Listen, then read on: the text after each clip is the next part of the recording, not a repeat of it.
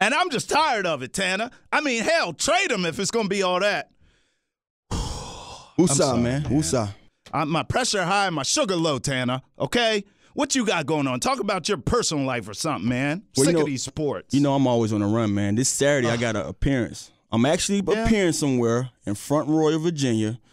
Don't get mad. I'm doing someone else's podcast. I told them about you, but they asked for me to come. So in Front Royal, Virginia, from 12 to 2, I'll be, you know, sharing some of our stories on someone else's podcast. Can we just work something out where it's like a buy one, get one free? They pay for you, but I show up for free? You trying to BOGO me? Yes. Yes. In fact, Paisano's BOGO deal, all you got to do is use the online code Redskins on the app or online, and you got it. Why can't we do something like that, man? Yeah, it works. Pizza and us. So he's saying there's a chance. Coming up on the Santana Moss Show, Travis and I are talking charities and trips. Tana, all the quarterbacks hurt with the Redskins. Cap still ain't got no damn job. However, hope may not be lost this season. And as we always do, we're talking picks. And I'm tired of talking picks because I ain't win one yet. And taking L's this week, it's my body. Look at it. You see it? It's an L. My body, yaddy, yaddy, yaddy, yaddy. The Santana Moss Show starts now. My body all over your body, baby. It's a Santana my show. Number 89, hustle all the time. Travis on the right, hot mic on the left. Every single week, it's a lyrical fact.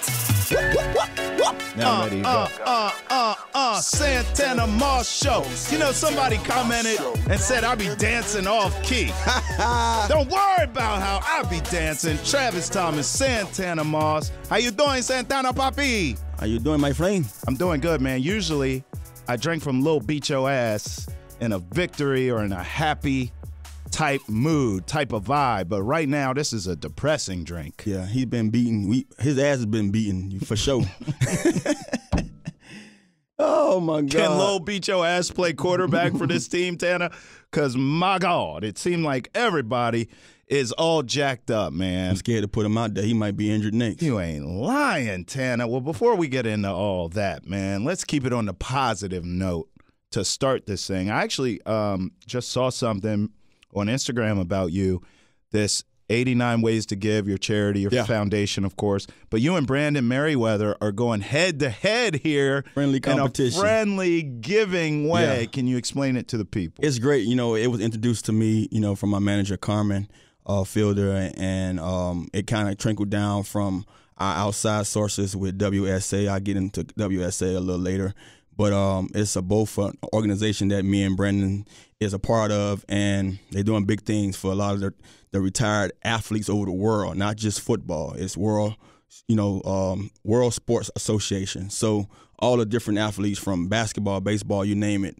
You you, name a sport, and they're part of this organization. And me and Brandon both sitting on sitting sitting at the chair. We we two members of the desk, and you know it came to us and said, hey, you know, uh, do you guys want to be a part of this friendly competition where you raise money for your foundation and you give it back? You give to those communities that you take care of, and you know me, I'm always giving. So Yes, you if- are. If it's a way for me to get others involved and giving with me, um, I want to be signed up, and I say sign me up. So we just started it. I launched my video yesterday on IG, and I think before I even can look at my video again, I was told I had already almost almost a thousand dollars that was donated. That's what's so up, man. It's moving in the right direction, and trust me, we're gonna actually end up having an event, I believe, at DC Prime in Ashburn, Virginia, on the twentieth, if I'm not mistaken. And we're gonna have our Toy Drive event there. So for everybody, just just stay tuned. You know, I'm gonna be posting that stuff on my social network, and I keep everyone that's uh, involved who who was donated or that gave or just wanting to be a part of it. I'm also giving back to those folks too. I'm going to throw a bowling event because I like to bowl. Yeah, he's You know, I nasty like too, to bowl. y'all. He could bowl his I'm ass off. I'm gonna throw a bowling event. It's gonna be a nice, fun bowling party for all the people that you know went out their way and uh, put a smile on these kids' face. You know, for the holidays. Man, well, shout outs to you and and obviously, you know, your fans and friends and family love you. They show support for all your ventures And also, this is a great cause. So, shout outs to you. Shout outs to Carmen, too, your manager, who's also trying to upgrade me. Lord Yeah. knows I need help.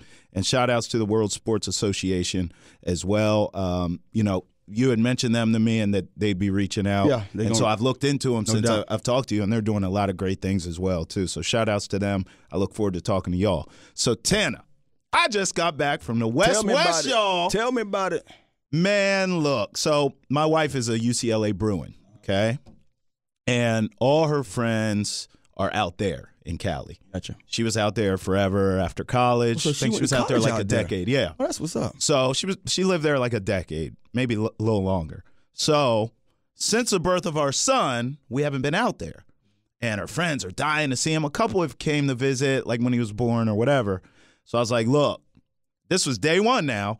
I said, I'm not taking a little newborn baby on a plane. Yeah. I said, when he's one, we can talk about it, right? I'm moving. So now he's 16 months. So, Tana, I wish I had flown his ass when he was just a little infant. I don't know what I was thinking. I really don't. I think in my mind, I thought a, a plane would mess with his brain or his heart or something. BS. He would have slept. It would have been great. This little joker here, six hour flight. Tana, he took us on every roller coaster of emotion you can imagine. He was happy one second. He was chilling one 2nd mm-hmm. He was flipping the hell out one second. I, I I don't know, man. I'll never do it again. Next time I fly with that boy, he'll be 13. They have they have stuff for babies for that though. You know. Well, Th- then I shoulda- I got five kids, and you know I do a lot of traveling. Shoulda so hollered. I know the different tricks that you can do to to travel with these kids. I so should have rapped to you. I tell you off air, and then you're gonna be like, man, we should let's go let's go out of town next week, baby. So we so we actually stayed in Long Beach, Mm-hmm. uh, but her friends are spread all over Cali. So I, I saw everything. but you enjoy yourself though. Oh my God, I didn't Every want. time? I didn't want to come back. That bro. West had you feeling like, man, I'm what I'm doing with myself down Oh. you had to come back to reality. I didn't even do anything. And like I I, literally went to the beach all day, every day, and just, chill, just walked the, around. just the weather alone, Yeah. and that's one of the things that I get, you know, in Miami and and all, all the folks who know me from, you know, growing up in South Florida and just hearing that now I'm in Virginia, and they like, Tanner, like, what's up with you? And I'm, bro, I understand. I could go to that when I want to, Right.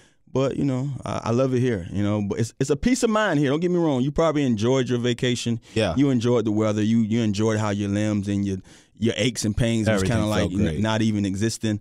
But the one thing about being here and and you're from this area, Right. It's a peace of mind. here. Yeah. So you don't have to worry about the worries that they have on that side. Even though you look at how they living, and you can say that they don't have any worries. But trust me, everyone has their share. Everybody does. All right, so Tana, let's get into the Redskins. Speaking of worries, I mean, look, man, I feel like last time we talked, it was all good just a week ago. All good. Just a month ago. I mean, man, Colt breaks his leg. Mark Sanchez comes in. I, he looked about what I thought Mark Sanchez would look like, to be quite honest with you. Let's go back to the Monday night game against the Eagles. Uh, first, I guess your thoughts on Colt McCoy, and then second, how that thing played out. Heartbroken. Heartbroken. It was a heartbreaker. You know, one of the things I looked at and, and and I'm watching the game, I'm saying to myself is like, what next? Like, you know, if anything that can happen worse than that, show me now. Just Right. you know, just knock me out because I thought I've seen everything. And to see Colt go down with that injury, the way he went down with it, I mean, he basically was running, scrambling, and slipped up on the grass and failed, and somehow his leg hit the guy's shin that was coming to tackle him. And I knew instantly that that hurt. It was either uh, going to be a bruise or because I've had one of those before. And I'm glad my limbs was heavy enough or strong enough that I didn't have to worry about fracturing mines. But I've I've had that plenty of times where someone knee or you know shin hit mines. But to see it happen, and I didn't even know he was hurt until I saw him limping doing one series of the you know doing the game, and I'm like, man, did he hurt himself on that? Because he play? stayed in, right? Stayed in, completed I think two passes or something like that. But it, it it was definitely a heartbreaker, and you just wish that. First thing I said is that here's Colt in a situation for the second time where he's got a chance to be the guy.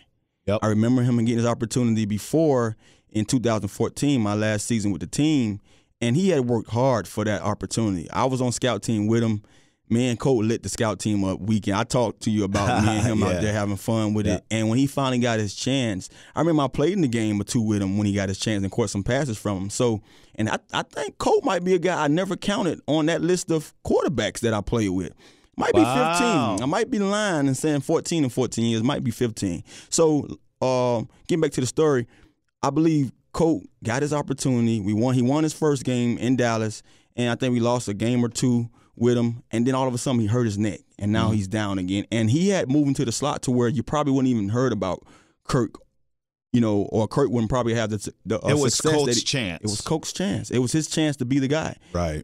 Kirk was going to be that the odd guy out because RG they wasn't sure about Curry at the time, and it was Colt, and Colt was doing well enough to be that guy, and so just to see him get his opportunity again out of all these years sitting around waiting, coming back this season, signing I think a year deal, and finally getting his opportunity, and we knew, I knew, just watching his game that he knows the offense well enough to go out there and be productive, and even that game he was like four for four or four for five, I believe. And then he goes down with an injury like that, man. So it, it's just a heartbreaker, man, to know that this guy has stood the test of time, uh, being one of the uh, reliable guys you can, you know, call on when the time was needed to know what he has to do and do it well enough, and to see him go down to injury again. as you saw the rest of the game play out, because to me, Mark Sanchez was just, I mean, he might as well be Tom Cruise. It was mission impossible in that game on the road on that stage.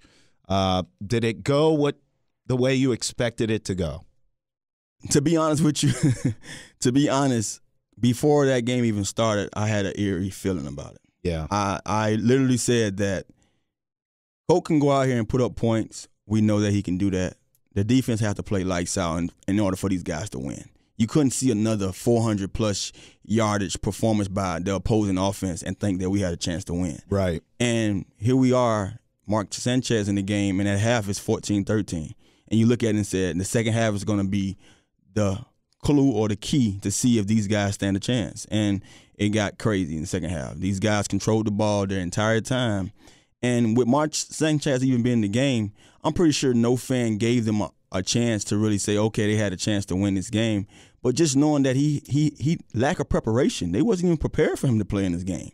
You know, you hear the coach say that I didn't even have plays, you know, designed for him. I threw I threw something together and put it on a put it on a uh, wristband and say, you know, in, in case we need this, Right. this is going to be Sanchez plays, and then you find yourself in the game with Sanchez, and he looked pretty good for a moment. You know that that two minute drive.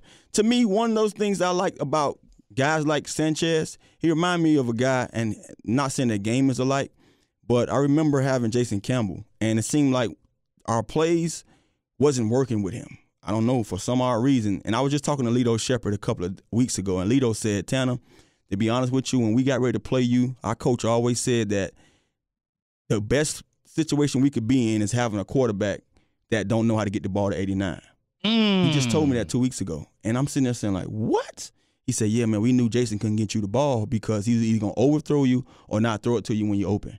And I'm like, wow. So, you know, and at the time he was a baby. He was young. He was he was young. And Jason, he probably remembers this more than anybody because he was doing it. He used to hold on to that ball. If you wasn't open like he wanted you to be, he wasn't trying to take those chances. And that's just being a young guy in the game, not really knowing. So I talk about Sanchez because I bring up Jason because when it comes to Sanchez, those guys are better with the faster tempo. Mm. Speed things up. Give them something that they know, five or four plays that they can, you know, consistently call, and let them play football. Now you don't have to worry about that defense setting. You don't have to worry about you having to worry about seeing all these guys open. It's basically designed for you to have somebody open all the time. And when I was watching that game, I'm like, let's just go hurry up the entire game because now you have Sanchez in the game. The rhythm. Get those guys off rhythm. Right. Don't settle him down. Right. He's better with those guys being not ready. You know what I mean? Mm, so I'm not a head coach. I'm not That's a coordinator. coaching. I'm not none of that. But I just felt like at the time, knowing that Sanchez can be productive at times and can make you know mistakes at times. I think his whole career has been he can do some things great, but he can make a lot of mistakes. And I'm saying right now, to me, going to that two minute uh, offense right before the half, that was the best thing I saw from him. I remember in 2007 in Dallas, we didn't do anything, and we got into a two two minute drill with uh, Jason Campbell, and we ran it for the entire game because that was more productive than anything else he can do. So, you know, I think that's something that the coaches should look into. Let's speed things up for for the defense and have them off balance instead of having our guy sitting there and settle, and then you getting a chance to settle your defense and attack him. Santana, as a guy who played the game, can you please break down to me, a fan of the game, how in the hell the Redskins don't sign Colin Kaepernick to back up Mark Sanchez? Because I got to tell you something right now. I hear Jay Gruden say, well, you know, his style doesn't necessarily mesh with what we do, and he doesn't understand the verbiage, and you know, he's got to learn the offense and all this, and and I think Tana, I can literally tell Colin Kaepernick to play backyard football, Yeah. and he'll be better than Mark Sanchez on this team, in my opinion, with the arm strength, uh, the ability to run. And I think there's this false narrative of him that he's not smart enough to retain an offense or to learn it quickly. I think you could salvage this season with Colin Kaepernick behind center. Can you tell me why it makes sense for them not to do it? Because I don't understand it. I don't know if it makes sense of them not to do it. I, I, I truly believe what you're saying is true. I, I would rather them have brought in him than the guy that they brought in to be the backup because worst case scenario, than this guy, he knows how to play the game. Also, he has been sitting on the couch for a while now, so that's something you have to deal with or worry about. But worst case scenario, you put in a little RPO in there for him and let him just run with the ball. That's what I'm saying. You know, worst case scenario. You know, now you have a, a dual threat in the backfield. You have to worry about him and AP, and may it may open up things for AP. Right. I truly believe, and you know, just as just my opinion, I truly believe that the entire every team on it, every team in this league is kind of scared to to um, you know um, pull that trigger on him. I believe because they know what's awaiting if they do. That's my opinion. I I think that they feel that the the reef they're going to get, the slack they're going to get from the outside world and from the fans base and the people who against what he's you know all about will hurt their team more than bringing a guy in and giving a guy a chance. That's my opinion. Yeah. and so you think it was politics? I, I, I, can't think it's disagree very with political. I think it's very political because Yeah. at the end of the day, it's a lot of guys out there that you can also say need an opportunity. Sure, You sure. know, and everyone is saying Colin Kaepernick's name because of what he went through of not being, you know, uh, uh, privileged enough Sure. to have the opportunity. I get it, but I truly believe that if he was in a different situation when he left this game, far as his game itself, we won't be having this discussion right now. I think his game alone at that point of time when he left this league was okay, he could be a backup. He probably was not the guy who took them to the Super Bowl, but he's going to be a backup. Now, a team has to say to themselves, okay, if he's going to come in and be a backup, do I want to deal with what I'm going to have to deal with from the outside The- the sources or and the backlash and everything? Having my backup getting this kind of heat every week about what he's going to do before the game or what he's doing during the, you know what I'm saying? So Yeah. I truly believe it's a business decision, and that's why teams are kind of staying away from You it. may be right because from a football standpoint, it doesn't make sense. to Don't me. make sense. But I'll say make this: I, I do think if you bring Colin Kaepernick here, right in his own backyard, the president's going to tweet and go. Oh, it's going to be crazy, and that's another reason. But I'll tell you this: I believe the Redskin fan base would embrace him and welcome him with open arms because of two things. A, when you look at some of the decisions this team has made when it comes to character, Yeah. okay? Stay with me.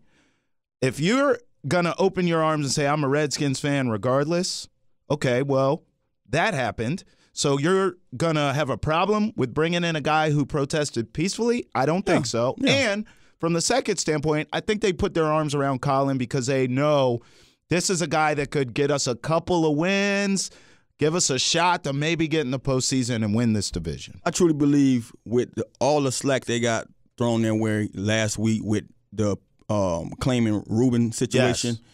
they would have been embraced a little differently if they would have opened the door up for Colin. In fact, I think it would have been a that. it would have been a, a great opportunity to do that. It would have been a way to say, okay, hush, That's right. hush your mouth. We Right. went out and got welcome him, everybody. and we went out and got him. So Absolutely. shut up now. I Now we're giving equal opportunity. You I know? agree. And so that's what I believe. But Me I too. think also when it comes down to this game, it's so political, man. I've been in that seat before. I've been in the seat where I, I didn't play the game because of you know you know political Politics. Mm-hmm. politic reasons than it was because of my game. Sure. So to see things pan out the way they do from time to time, I, I don't really even trip about Yeah. it because I know it happens, you know, daily. It's a flipping shame. All right. Giants, Redskins. It's here. Fans gotta we need we listen. HTTR Nation.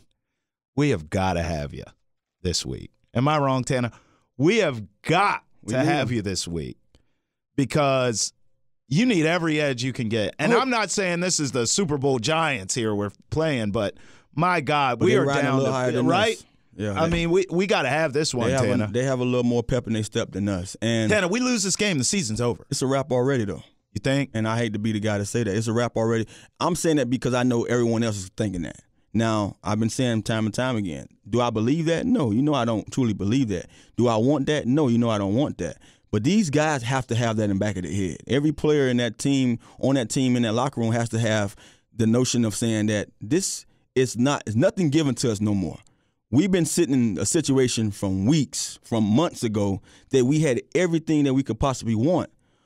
Now, along with having everything we can possibly want, as far as the position in, in the division, we've had injury after injury after Ugh. injury. Nothing they can do about that. That's just bad luck. bad luck, honestly. So, with all that said and done, it's still a few of you guys out there playing. It's still a few of you talented guys that some of you may be Pro Bowlers that has a chance to be that guy to make a difference these next four weeks. And that's the thing I say. You know, uh, I was just sharing these, these same words with uh, these same same words with Portis, and I'm like Portis, remember that time when it was just me, you, and Cooley on offense? And, and you remember that time when sometimes me and you just get in our little huddle together? I'm like, me and you, bro, let's do it. You know, and I say it was like watching Bad Boys almost when me and Portis played together. Honestly, because I would catch a pass, and the first brother would make that that block for me as Portis out the backfield. And it got me into a rhythm saying that I know I can count on my brother. And then I see him running the ball. I'm I'm chasing somebody across field to make sure I could be that guy to spring him. So these guys have to kind of bond together differently. I don't know what way they have been thus far. I understand they've been playing together the whole entire year, but you have to find a way to really, you know, feed off each other. If AP is running as well as he's running, feed off him. When you see him take that thing, catch that cow. You know, I say that a lot. Jump in that same ride. I need I need mine next, coach. You know, someone oh, has yeah. to jump up and be, you know, the guy that say, I'm gonna take this things, I'm gonna take some of this stuff that's in my hands. I remember at times, man, I'm I'm, I'm gonna tell the story because it's funny. I was a guy, I hated being a rah-rah guy. I'm not a rah-rah. I'm not a guy that's gonna tell you what we need to do to go out there and play for 60 Right, minutes. right. I shouldn't have to tell you that. We should be ready to go out there and do it. And being a veteran, getting up in those years, uh, we had a couple of veterans that was always the guy that get in front of the team and talk. Oh Lord. We had a guy, Randy Thomas. Randy used to do, Tanner, c- Tanner, come up here and say something. And I'm the wrong guy to say something because I don't say nothing right. Everything is a bleep, bleep, bleep. so I got up there and I'm hoping they bleep this when when I go to talking. and I'm like, F- this, we need to go out here and kick these mother. And everybody look at me like, Like you're that dude. and I'm walking off, and I look back, and they still looking. Yeah, let's go, Tanner. I feel you. And- But that's how. That's all I got in me. That's what I'm. If you if you had to cut me open and open me up, that's how I feel. right. I don't say it because it's not appropriate all the time. Right. But the way I feel, if you cut me open and my words can just come out, that's what I'm thinking. Get the f- out that man over there. I don't care. Right. at the And then they give me me. And I show you, you know what I'm saying? And you can see that with a smile on my face. That's I can say that with a smile on my face because I really don't care. Like I never worried about things I couldn't control. Worry about me. Yeah. So as long as I was prepared, you in trouble. You know what I'm saying? So these guys, I'm saying all this. I'm saying because these guys have to prepare to go out there and win the game, regardless of who has that, who's that quarterback, who's in the backfield, who's on the other side Gotta of that go. defense. You got to go. You go. gotta do it. And so the fan base, the people in the world, counting you out. I'm counting you out. I'm saying it's, it's no chance. I'm saying it because you're on your third third quarterback. We was barely giving you that chance, the opportunity with your second one. It's right now you, tough sledding. So what are you gonna do? Holy tamale. Get get yourself a drink. Listen, Yeah, I mean, let me let me let, wet let my me whistle a little explain to y'all at home something about Santana Moss. This is the Gemini coming out. This brother right here is R&B smooth, but if you cut him open, Tupac bleeds out of this man. Did y'all just see how he flipped? He goes Oh. from smooth R&B soul voice to this.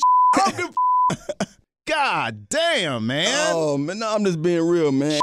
Feel like some of these guys, and and that's why I feel Swearinger pain at times. I- Yeah. I, you know, at times they say he says uh, says a little too much at times, but you need it. You He's need it. real, bro. He's too real. He's real. and I think everybody's not on the same page, and that's why Yeah. he comes across wrong at times. By the way, shout outs to CP, man. Yeah. Tanner brought up CP, how he used to run across field and lay brothers out. CP, you know you're always welcome here.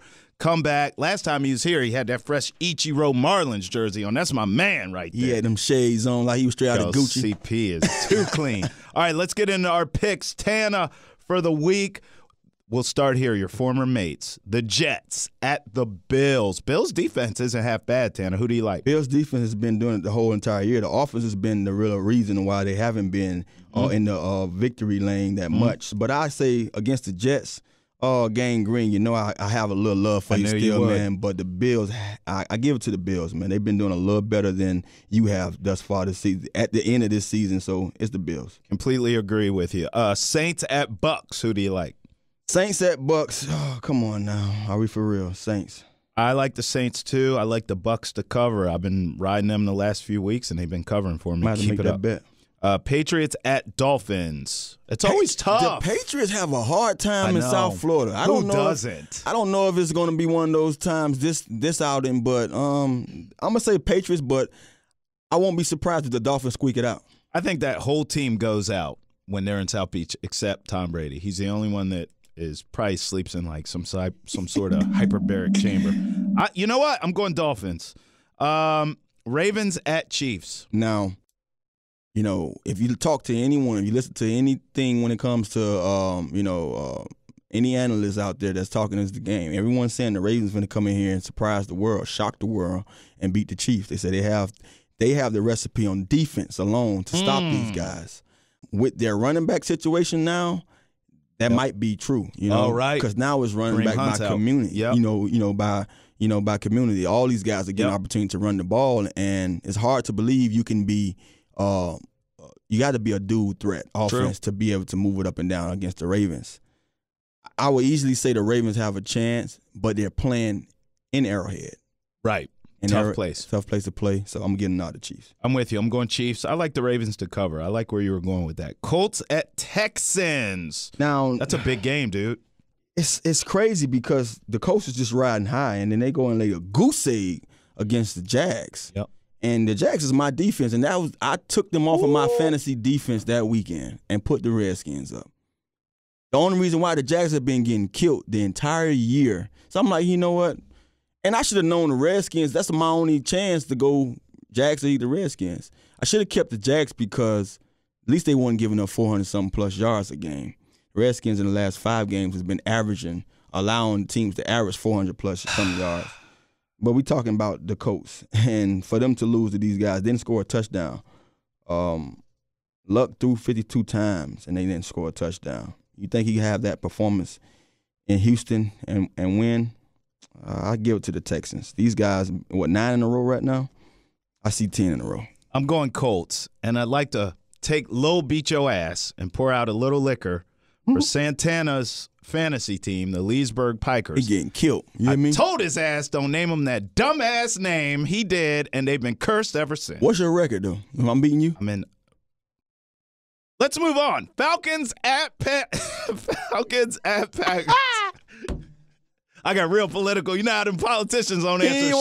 Ain't sh- he ain't want to say. Politicians will say, let's move on to the topics at hand. Falcons at Lambeau taking on the Packers. Both of these teams suck. I just want to say that. Both of them suck. I'm not even giving the Packers a chance with all the moves that they done. And guess who's my who my fantasy quarterback is? Hey, Aaron. Yeah, I swear. Lord. Oh, do they beat the Packers? No. I mean, do they beat the Falcons? No. Falcons win. All right, I'm going Packers. Panthers at Browns. I kind of like this game. Panthers, if you've noticed, have been on a free fall, bro.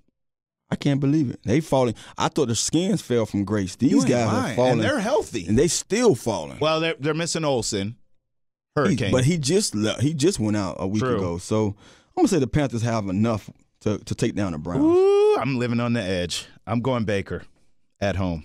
I like the Browns. I think Baker's forever cursed this year. Think? Yeah, I think so. I think he he handled that situation with him and he was so wrong. Yeah, that, that was- that was cruddy. It was funny to me what happened the week after with his success the week before. the week after you saw him still be successful throwing the ball around because he's a baller. He's Right. a baller, but he handled that situation so wrong that it Yeah. kind of bit him in the behind. It was dumb petty. You know, right? so it was petty for no reason. So, uh, not saying that's going to stop him from winning or losing. I just feel like he should have. He, he was at a moment where he showed his age. I agree. You know, he It was his age. Yeah, Uh, Broncos at Niners. I'm going Broncos, right? Broncos, buddy. uh, Bengals at Chargers. God, the Bengals are finished. Chargers. right? Chargers. I like the Chargers. Uh, Lions at Cardinals. Cardinals going to win. Woo! The Lions is trash. You hear me? Yeah, they suck. Cardinals going to win. God, I want to roll with you on that. I'm going to take the Lions, Cardinals to cover. Steelers at Raiders. It's hard to believe the Steelers just dropped two playing as well as they've been playing on the offensive side, but I'm gonna go Steelers. The Raiders, they've been done since been done. Sa- Not since been done. It was well done, and somebody put them in there and made them charcoal. well, you just as rude as you want to be. Eagles at Cowboys. That could be the division. I want the Eagles to win. I want hold on. I want the Eagles to win. They playing in Jerry's Jerry's world. So, damn, I want the. E- I'm going Eagles, man. Ah, damn, he Let's wants go. the Eagles to win. Let's go, man. Come on. Uh, I hope it ends in a tie because I hate both, of, you. them. Yeah. Uh, I'll go. God, dog. I'll go Eagles. All right. Uh, Rams at Bears Sunday night. We just talked about Big game. Trubisky's back. how the Weatherfield and Cali, and these guys got to go to this the Hawk. Yeah, You know, the Brutal. frozen tundra. brutal. Oh, I say Rams win. Trubisky could be back all he wants to. The Rams will win the game. You gonna outscore? him. you gonna outscore? him. You know what? I'm doing it. The Bears defense struggle with the Giants. The Bears. Uh, Monday nighter. Your old buddy Kirk Cousins Hey, goes Seahawks. to Seattle. Seahawks. It's a tough place to win there, huh? Tough place to win. For some odd reason, I feel like that stuff have carried over with Kurt when it comes to the big game. Uh, he's not the reason why they're not winning these big games because everyone's he's going to put it on the quarterback. Yeah, he's not. But their defense isn't that well this year, and, and the Seahawks have been playing some outstanding football, especially on the offensive side when they really don't have much, and that's why I get them the nod. I hope my boy Rob is taking notes this week because we have a lot that we disagree on. I'm going Vikings just because this feels like a playoff game to me, and I don't ultimately think the Seahawks will make it. I think the Vikings will, and so they just got to have it more, quite frankly. Uh, so I'll go Vikings on the road. They gotta want it, tough place. They got to want it. They want it. Tough place. All right, taking L's this week. I'm going to take this one, buddy. I'm going to give it to my body. Hmm. Right. Here's the thing, Tana. I keep myself in shape. Mm-hmm. I eat right. I mean, don't get me wrong, I have my vices. However, I keep it together. Mm-hmm. And every day I run or I lift or I box or I do something active. My body hurts. And I can never figure it out. My knees hurt, my elbows, my shoulders. I'm like, damn, man, am I that old? What's up? I got that many miles. Hmm. I go to the West Coast all of a sudden, a brother feel like he's 21. I'm moving, I'm grooving, I'm flexible like Gumby out of nowhere. I'm like, hmm. what's going on with my body? Right? I'm in the air. Some in the air. I fly back home to the East Coast. Everything hurts again. Back to reality. Oop, there goes gravity. I mean, I just can't win, man. this win, East bro. Coast weather, man, got me all rickety. See, you know that West Coast weather, man. They it stay polluted Yeah. with that good broccoli. So at the end of the day, There were dispensaries everywhere I looked. you was basically indulging in secondhand, and you didn't even know it. you did take a L. Thanks for watching the Santana Moss Show podcast, aka Half Baked. Travis Thomas, Santana Moss. We appreciate y'all. He didn't even know it. you ain't even know it. Go follow us wherever great podcasts are available, because that's what we are. It's a Santana Moss show. Number 89, hustle all the time.